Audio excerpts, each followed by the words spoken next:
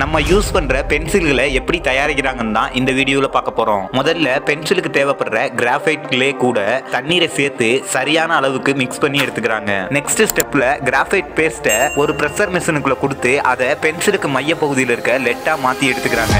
அதுக்கப்புறம் அந்த லெட்டு எல்லாத்தையுமே எடுத்து நல்லா ட்ரை பண்றாங்க. இதனால அந்த லெட்டு ரொம்பவே ஸ்ட்ராங் ஆகிடும். நெக்ஸ்ட் அந்த லெட்டு எல்லாத்தையுமே ஒரு பாக்ஸுக்குள்ள அடுக்கி அதை ஒரு பெரிய கண்டெய்னருக்குள்ள வச்சு நல்லாவே ஹீட் பண்ணிடுறாங்க.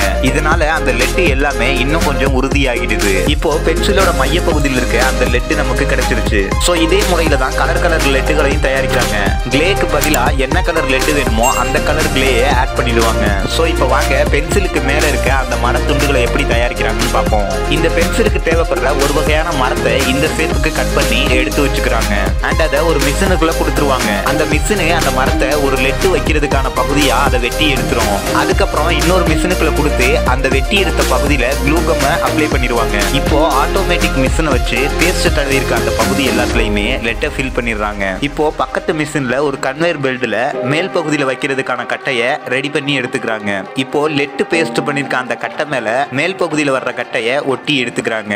இப்போ அந்த கட்டையை ஒரு கன்வேயர் பெல்ட் மூலமா அனுப்பி அதை நம்ம மார்க்கெட்ல பாக்குற மாதிரி பல சைஸான பென்சில்களை கட் பண்ணி எடுத்துக்கிறாங்க. பல டைப்ல கட் பண்ணி எடுக்கப்பட்ட அந்த பென்சில்களை ஃபைனலா அந்த பென்சிலை கலர் பண்ணிட்டு அது மேல ஆட்டோமேட்டிக் மிஷின் மூலமா கம்பெனி ஸ்டாம்பை சீல் பண்ணிடுவாங்க. அண்ட் ஃபைனலா இந்த பென்சிலை பேக் பண்ணி சேல்ஸுக்கு அனுப்பிடுவாங்க. ஸோ இந்த முறையில தான் எல்லா கலர் பென்சில்களையுமே தயாரிக்கிறாங்க. இந்த வீடியோ உங்களுக்கு பிடிச்சிருந்துச்சுன்னா மறக்காம இந்த வீடியோக்கு ஒரு லைக் பண்ணிடுங்க.